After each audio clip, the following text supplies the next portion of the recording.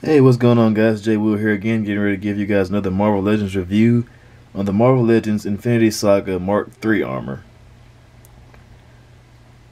And I really like this figure, guys. Uh, I've really been wanting to pick up one of his earlier armors since the uh, first movie came out way back in, what was it, 2007? I think it was 2007? Yeah, so long ago, even I'm starting to have memory slips here and there. Yeah, definitely a very impressive looking armor really impressed with the detail and the color scheme and everything. So yeah, straighten the guy out right here. My main man, Mr. Stark himself. The beginning of the MCU. Very cool looking armor. I really like the way the uh, head is looking right there. Pretty menacing, kind of. Like, like he means business. So yeah, let's take a quick look at the packaging and then we're going to do a look at the comparisons. Slide you back right there. So, nice looking window box there for the um, Iron Man figure, the Infinity Saga first, well, Mark III armor. Got the in-game artwork right there in the back, on the side. And then on the back, you have the little read-up right there You want to read that?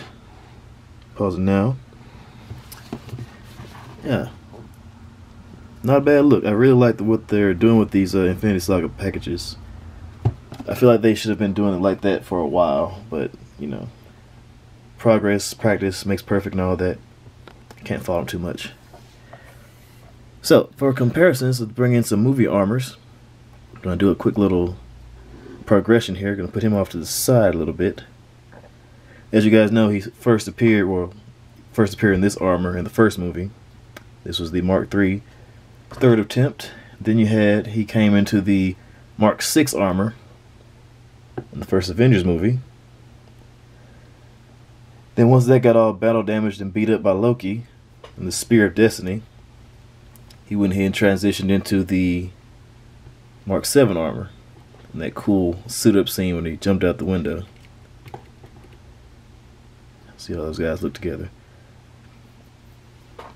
Yep, not a bad progression right there. I kind of wish they would have kept the uh, the uh, triangle triangle looking arc reactor. That's more my preferred version, but it works. He had to get a new suit of armor anyway, so whatever gets the job done. Put these guys off to the side.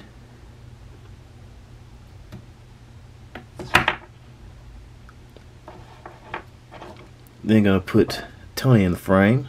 You can see how he looks next to his uh first red and gold armor. Yep. Definitely, I feel like the uh, armor is getting a little bit bigger because he doesn't really look like he can fill the suit up. The suit looks like it's about maybe six five or something. so yeah, definitely like a little bit of a stretch for him to get into the armor. But yeah, it works. Let's get to the accessories a little bit, then we'll get into the figure itself. So the Mark III armor comes with interchangeable blasting hands, or repulsor hands. And one little gripe I had about these uh, hands is that of all the armors that we've seen come out that all have the little peg holes in his hands, these do not have the peg holes for blast effects. It's kind of weird. They have the just painted on um, effects right there in the center of the hands. So it's kind of weird.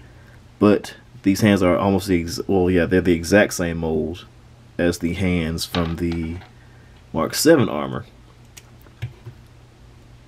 So if you want to do it like that, you can just take the uh, yeah, you can just take the hands off the Mark 7 and plug it into the Mark 3 and put your own blast effect in there and make it work if you have the Mark III or a similar armor with blast effect hands. And he also comes with the interchangeable head with the uh, faceplate open. Get a little bit of uh, Stark goodness. Then he comes with also the little missile launcher deal that he had kind of like midway through the movie where he hit the tank well, the tank hit him, and then he landed on the ground and got up and shot the tank. He has this little makeshift shield that he had pop out whenever he was under fire from Ironmonger at the end of the movie.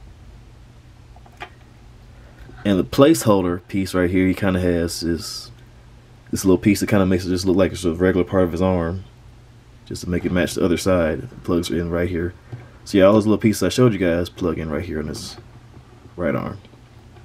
So yeah, so get where you guys aren't lost trying to figure out where it plugs in at. And so let's get down to brass tacks here. Show you guys what the figure can do. His head's on a dumbbell joint. Gives an ability to look up that far. So looks down that far. Side to side motion. He has a kind of a weird. This is my first time seeing seeing something like this. A arm joint or shoulder joint that's kind of like sunken into his arm there. Don't know if you guys can see it fully, but it kind of just rotates this entire piece right here because the shoulder piece is connected on the inside of the shoulder joint right there. So it's kind of just rotates the entire piece all the way around. It's my first time seeing something like that. It may have had it on other figures in the past or something like that, but uh, I probably didn't get those figures back in the day. So, yeah, my first time seeing that. But does rotate all the way around, though, and then his arm comes out that far. Bicep swivel. Double jointed elbow that folds in pretty far.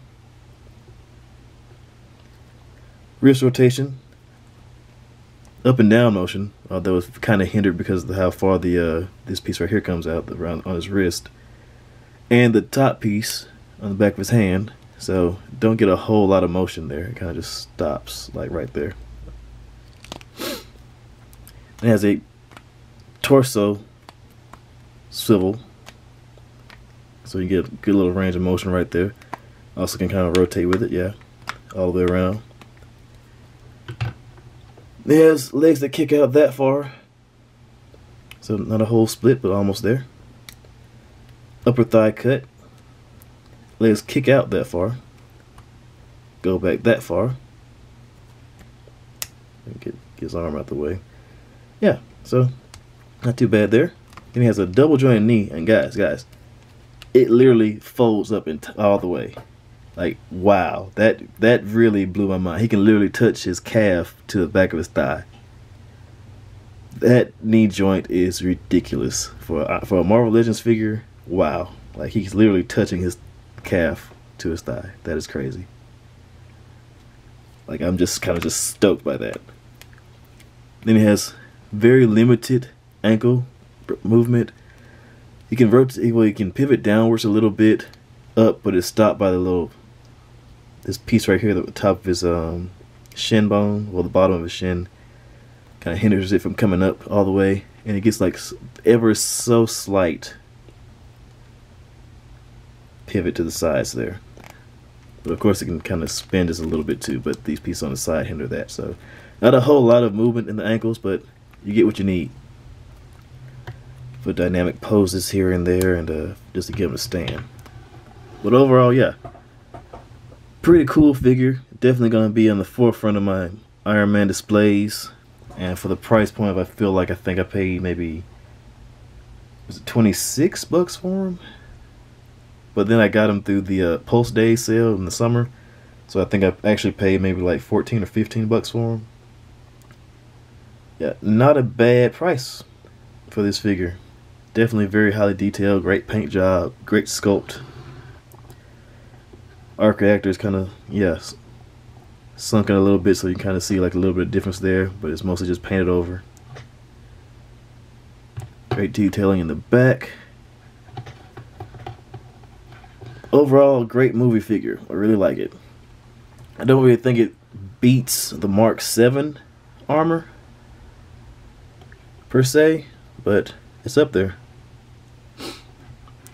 because the Mark 7 just has all the extra bells and whistles and everything that Tony was talking about in the movie and stuff like that with the flat pieces on the back and whatnot. And yeah, he just, and then the hands with the peg holes in it. So he just kind of just, he kind of just blows the Mark 3 out of the water. But both of these stand, of course, like way above the Mark Six armor. It came out with the first Avengers movie. Of course, he's he's kind of like just too short to begin with. They were just kind of getting their footing or whatever, making these figures, I guess. So yeah. But yeah, great figure. Definitely recommend picking them up if you get the opportunity. If you see them somewhere, if you, uh, get them on sale somewhere. Yeah. So if you guys like the video, like button, share, subscribe, comment, do all the process, YouTube. And stay tuned. I'm probably going to try to get out another video for tonight or this morning, depending on where you live at. It is currently 11:20 New Year's Eve, so I'm to try to get this knocked out before the new year started. So appreciate you guys stopping by. Appreciate it. Everything. You guys have a great night. Happy New Year's.